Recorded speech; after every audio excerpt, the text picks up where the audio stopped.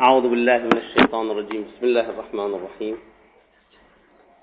الحمد لله رب العالمين والصلاة والسلام على سيدنا محمد وعلى أهل بيته الطيبين الطاهرين.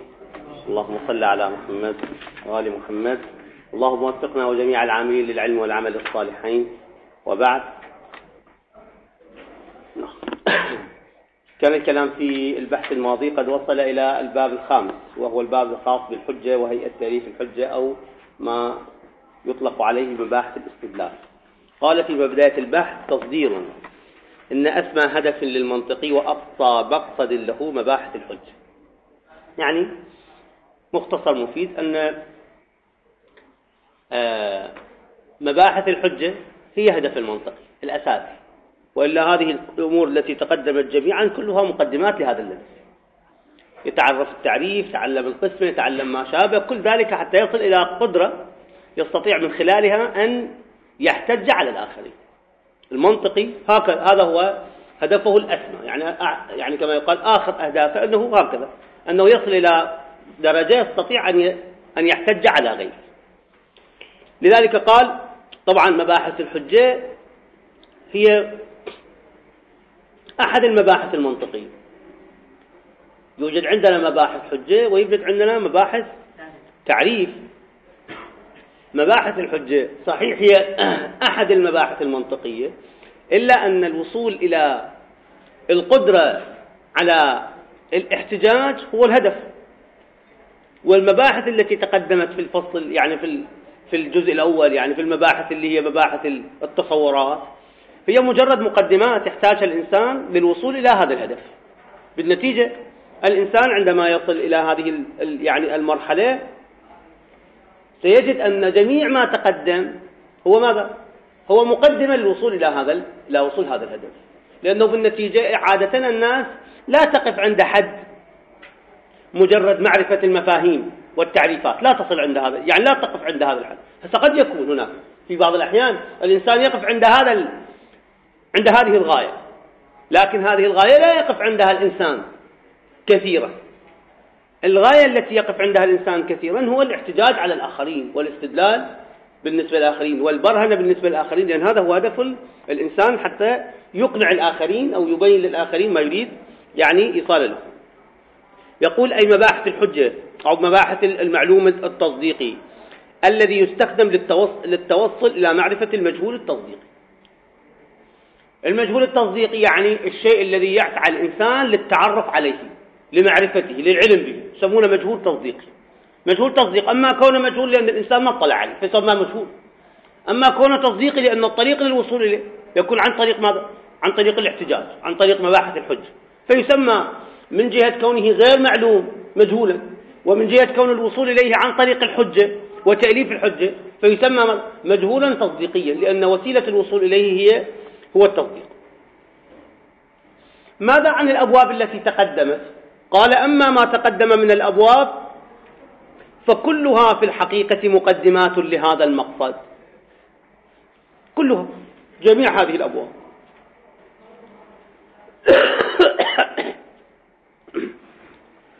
قال حتى لعله الإنسان قد يقف يقول المعرف عندما تعلم الإنسان كيفية التعريف قد يعتقد الإنسان أن المعرف هو هدف في نفسه. هدف هو هدف.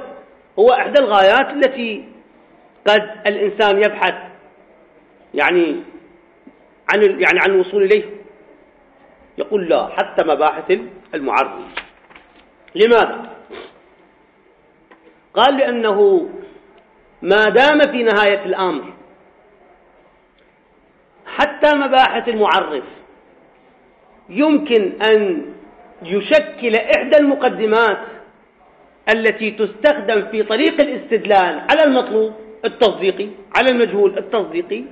فإذا حتى مباحث المعرف يمكن أن تكون إحدى المقدمات يمكن أن يكون إحدى المقدمات التي يعتمد عليها في الاحتجاج على الآخرين إذا كان الأمر كذلك. إذا حتى مع مباحث المعرف يمكن ماذا؟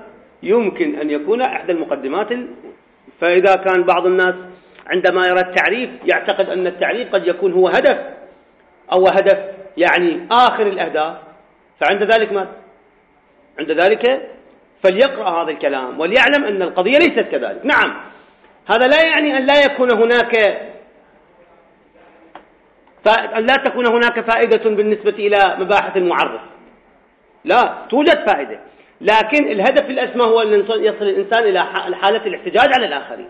قد يكون بعض الأحيان بعض الناس يهدف إلى معرفة مفهوم من المفاهيم ويسأل عن شيء عن مفهومه ويكون مباحث وتكون مباحث المعرف طريقه للوصول إلى تلك الغاية. لكن الغاية الأسمى هي أن يحتج الإنسان بالمعلوم التصديقي للوصول إلى المجهول التصديقي. فبالنتيجة فبالنتيجة يمكن القول بأن المباحث جميعا يمكن أن تكون مقدمة للوصول إلى هذه الغاية السامية وحتى لو كانت تلك المباحث هي مباحث المعرف لأن المعرف قد يكون هدفا قد يكون هدفا لبعض الناس إلا أنه في نفس الوقت يمكن أن يكون إحدى المقدمات التي تستخدم في الوصول إلى يعني معرفة المجهول التصديقي. قال لأن المعرف إنما يبحث عنه. هذا بيان. لماذا؟ لماذا يمكن لماذا آه مباحث المعرف أيضا يمكن أن تكون من المقدمات؟ يقول هذا السبب. لأن المعرف إنما يبحث عنه ليستعان به على فهم مفردات القضية من الموضوع والمحمول. والقضية هي ماذا؟ هي إحدى مقدمات الاحتجاج على الآخر. إذا صار المعرف طريقا لفهم المفردات الذي هو طريق لفهم القضية الذي التي هي مقدمة من مقدمات ماذا؟ من مقدمات الحجة. قال والحجة عندهم عبارة عما يتألف من قضايا. طبعا واضح عندهم يعني عند المناطق. والحجة عندهم عبارة عما يتألف من قضايا يتجه, يتجه بها إلى مطلوب يستحصل بها. يعني توجه إلى هذه الجهة. إلى مطلوبين يستحصل بها. وإنما لعله لما هذا الاسم؟ حجة. لما حجة؟ يقول وإنما سميت حجة لأنه يحتج بها على الخاص لإثبات المطلوب. هسه يحتج بها هذا بيان. لماذا سميت حجة؟ يقول لأنه يحتج بها. وتسمى دليلا أيضا. حجة ودليلا ودليلا لأنها تدل على المطلوب وتهيئتها وتأليفها لأجل الدلالة يسمى استدلالا ترتيبها يعني تهيئتها وترتيبها. هسه الحجة إطلاق الحجة يعني تسمية الحجة بالحجة ظاهر من باب آه، إطلاق المسبب على السبب. يعني إطلاق علاقة السبب والمسبب يعني إطلاق مجازي بالنتيجة. ومما يجب التنبيه عليه قبل كل شيء أن القضايا ليست كلها لعله هنا يعني إذا كان الأمر كذلك فمعنى ذلك أن الإنسان إذا أراد أن يستدل على قضية من القضايا فيجب أن يقيم ماذا؟ برهانا يجب أن يقيم حجة على يعني على الوصول إلى الهدف. يقول لا المصنف ليس الأمر كذلك. لماذا؟ لأنه ليس كل الأشياء التي يطلبها الإنسان بحاجة إلى حج. لأن بعض هذه الأشياء قد لا تكون كذلك. بل تكون ماذا؟ بل تكون واضحة بينة بديهية بدرجة. يمكن ماذا؟ يمكن أن يستغنى فيها عن الحجة بل بعضها ربما يكون ماذا؟ غير قابل للاحتجاج. وهذه قضية لعلها تكون ماذا؟ إضافية. في بعض الأحيان قد تكون إضافية كما لو كان الإنسان عالما بشيء حتى وإن كان حتى وإن كان نظريا في ذاته. وفي بعض الأحيان لا قد يكون هو بديهي في ذاته. وبداهته بدرجة ماذا؟ بدرجة لا يناقش فيها. لأن البداهة أيضا البداهة يمكن أن تقع محلا للحوار والكلام بين ال بين ال بين الناس. إلا أنه ماذا؟ إلا أنه بالنتيجة الأمور التي أو الأشياء التي لا, يتن... لا... لا يناقش في بداهتها لا يحتاج الإنسان إلى الاحتجاج عليه لأنها بديهية واضحة. لذلك قال ومما يجب التنبيه عليه قبل كل شيء إن, أن القضايا ليست كلها يجب أن تطلب بحجة. السبب هو هذا. ما هو ما هي المشكلة؟ فليستدل على كل قضية بحجة. قال لا الأمر لن يقف عند هذا مجرد محاولة الاستدلال. لا لأنه لو كان كل شيء يحتاج إلى حجة لم ننتهي. لأنه كل معلومة توصل إلى المعلومة التي سبقتها. فلو كان كل شيء يريد الإنسان الوصول إلى معرفته يحتاج إلى حجة. لما تعرف الإنسان على معلومة واحدة. مجرد أن تكون هناك معلومة يريد الإنسان الوصول إليها فإنه سيستخدم جميع معلومات العالم ولن يصل إلى نتيجته لأنه بالنتيجة كل شيء يحتاج إلى حجة. فهذا الذي يستخدمه يحتاج والذي بعده يحتاج والذي بعده يحتاج وهكذا. لذلك قالوا إذا يجب أن تكون هناك قضايا تمثل الأساس الفكري للإنسان الذي إذا أراد أن يستدل على شيء يجب أن يقف عند حد. قضايا تعتبر الأساس فيقف عندها إما أن يقف عندها بمرتبة واحدة أو مرتبتين أو ثلاث المهم أنه يقف. وإلا لو كان كل شيء يحتاج فيه الإنسان إلى أن يستدل بحجة لما عرف الإنسان معلومة واحدة لأنه كل معلومة تحتاج إلى معلومة كل معلومة تحتاج إلى معلومة ويصير عندنا شنو؟ يصير عندنا تسلسل. قال ومما يجب التنبيه عليه قبل كل شيء أن القضايا ليست كلها يجب أن تطلب بحجة. عليكم السلام. وإلا لما انتهينا إلى العلم بقضية أبدا. بالنتيجة هذا يؤدي إلى التسلسل. ما انتهينا إلى العلم بقضية؟ لأن كل قضية تحتاج إلى حجة. والقضية التي بعدها تحتاج إلى حجة. والقضية التي وهكذا. إلى ما لا نهاية. قال بل لا بد من الانتهاء إلى قضايا بديهية. مر عليكم في المنطق في الجزء الأول. بديهية. يعني لا تحتاج ماذا لا تحتاج إلى واسطة.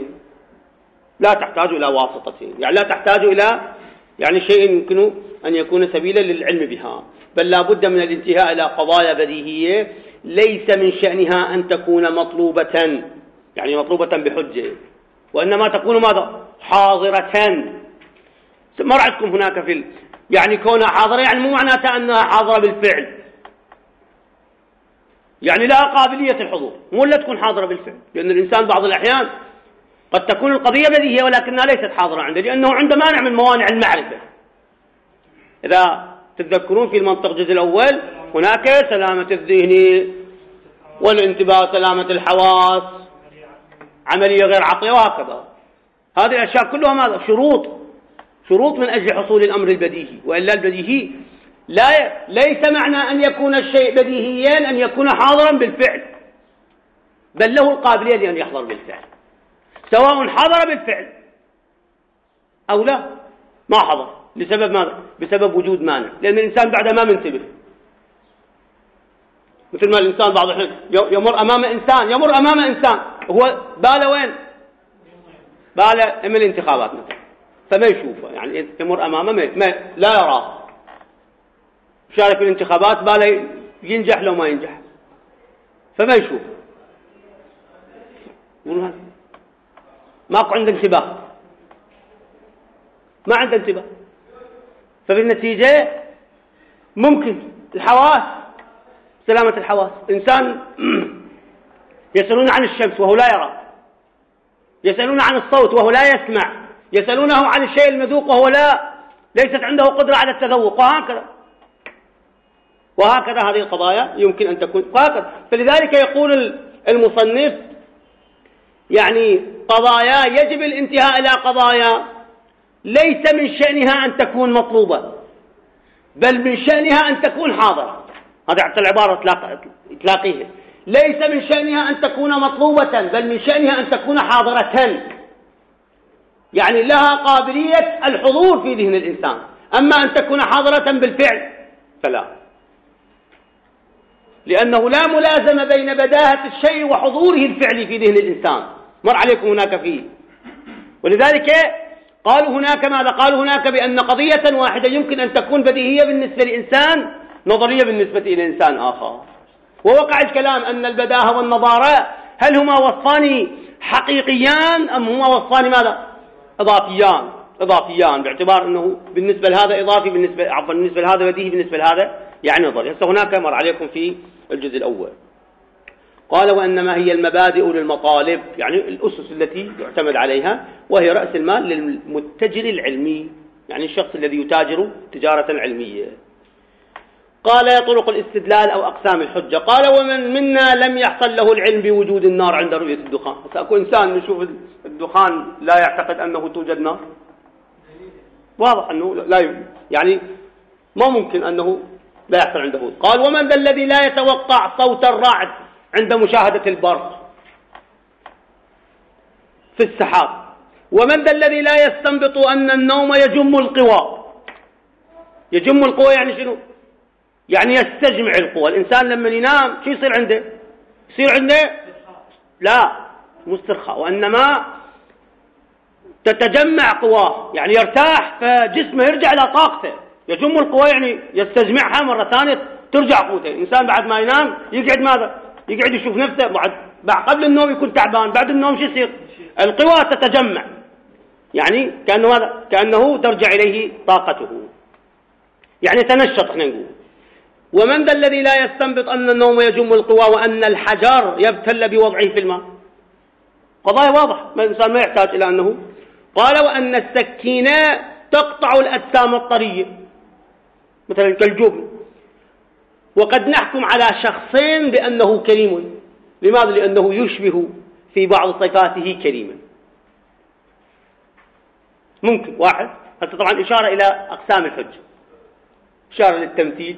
إشارة للقياس إشارة للاستقراء. هذا كله إشارة لهذه الأقسام. لا لا لا لا لا لا لا. هاي طرق الاستدلال. أقسام الحجة.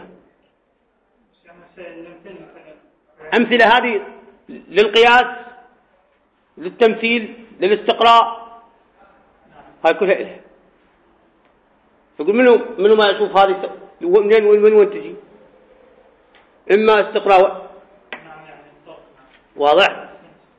فيقول وقد نحكم على شخص بأنه كريم لأنه يشبه في بعض صفاته كريما. نعرفه. يعني تمثيل. شوف هذا حكم الجزء للجزء. ذاك حكم الكل لكل كلما رأيت دخانا فاعلم أنه يوجد. نار. هذا حكم منين؟ من كل وهو كل ما وجدت طلعت حكم ماذا حكم دخان الآن شوف. الآن نشوف دخان. هذا يسمونه قياس. فهذا بيان للأقسام. لذلك هو اسمه طرق الاستدلال. قال أو نحكم على قلم. نحكم على قلم لأنه, لأنه يشبه قلما جربناه. لا من كل الجزء أو نحكم على قلم بأنه حسن ليشبه قلما جربناه. وهكذا إلى آلاف آلاف من أمثال هذه الاستنتاجات تمر علينا كل يوم. يعني استقرأ. من جزء إلى جزء. وفي الحقيقة أن هذه الاستنتاجات الواضحة التي لا يخلو منها ذو شعور ترجع كلها إلى أنواع الحجة المعروفة التي نحن بصدد بيانها.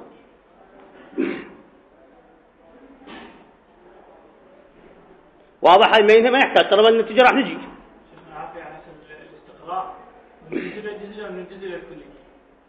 لا الاستقرار راح يكون شو اسمه راح يكون من الجزئي إلى الكلي.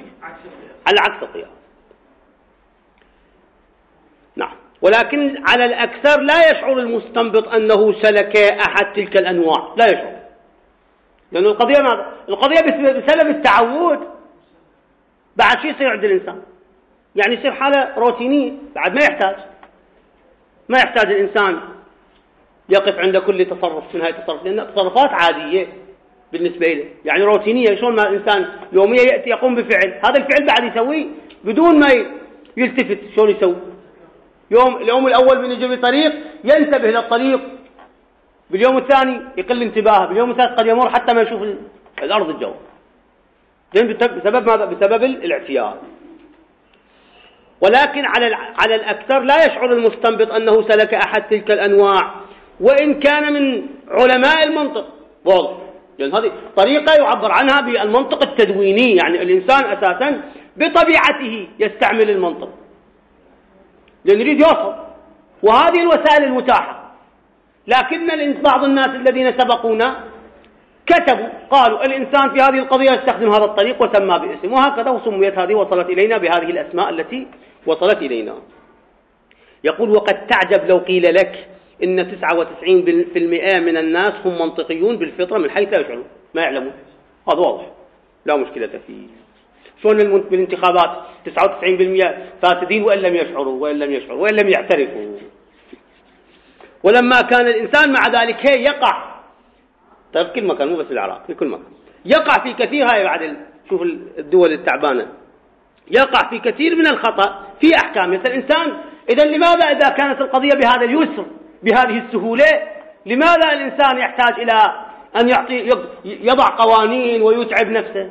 قالوا لأن الإنسان مسكين. طريقة هذا كله عثرات كله مطبات. الإنسان لما يجري لا يعني يعني مثل مثل بعض مرضى النفوس. بعض الناس مريض مو صاحية مريض. كل ما يشوف واحد يناقش واحد يتوقع اللي يناقش يعني يفتهم وذاك ما يفهم يعني نشوف واحد والله فلان ناقش فلان. يعني هذا شنو؟ اللي ناقش يفهم وذاك اللي ناقشه ما يفهم. لذلك هذا ناقش. هذا مرض. الإنسان لما يناقش إنسان شنو معناته؟ معناته عقله يعمل. أكثر من هذا ما أقدر أما يعمل بالاتجاه الصحيح أما يعمل بالاتجاه مو الصحيح هذا من يدري؟ هذا بعد يعرضون عليه الاختصاص حتى يقول لك إذا واحد أطباء اثنين اختلفوا فيما بيناتهم. واحد يقول له نفتح البطن من هنا واحد يقول له نفتح البطن من هنا.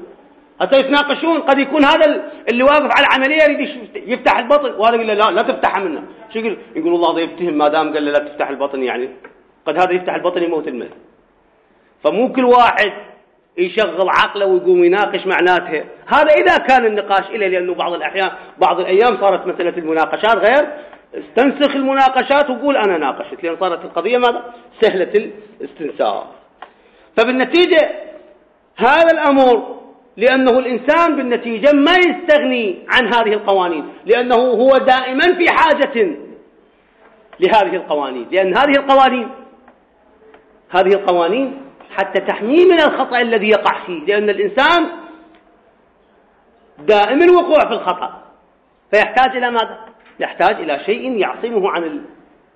هذه الأخطاء حتى يخرج من هذه الحالة التي هو فيها. لذلك قال ولما كان الإنسان مع ذلك يعني عقله يشتغل نعم.